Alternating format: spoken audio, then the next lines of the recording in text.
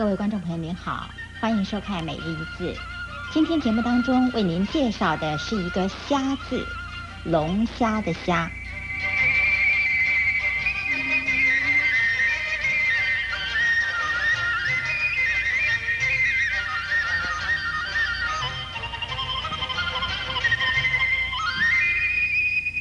虾字的国语注音是“西鸭虾”，一声“虾”。虾，一声虾。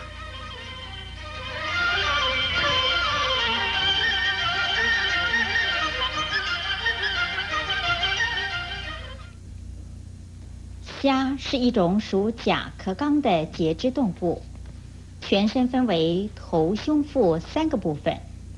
头部有两对触须，一对长，一对短。由于种类繁多，所以。其大小、形状、色泽均不尽相同，有产于淡水中的，也有生长在海洋中的。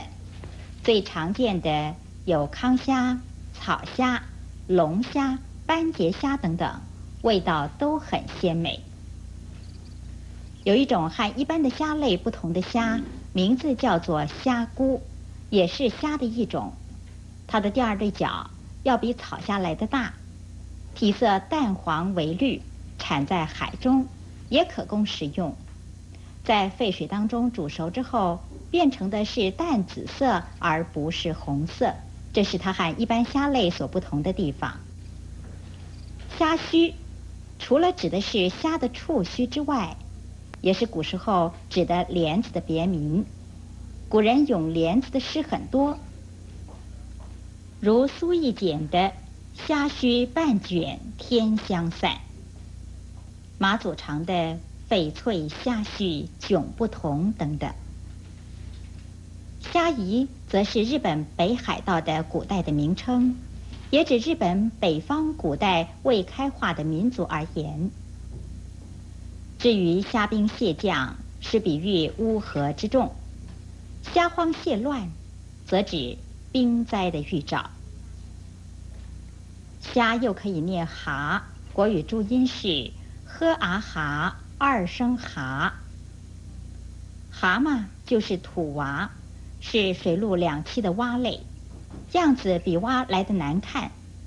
它的背色是灰黑而长油，中医以之入药。至于谚语“癞蛤蟆想吃天鹅肉”，则是指人不自量力的妄想而言。不过蛤蟆。也可以写成右边这样的蛤蟆。最后要提出来的是，瞎字的右边不是断字，而是假字，书写的时候一定要特别的注意。今天的每日一字节目就为您进行到这里。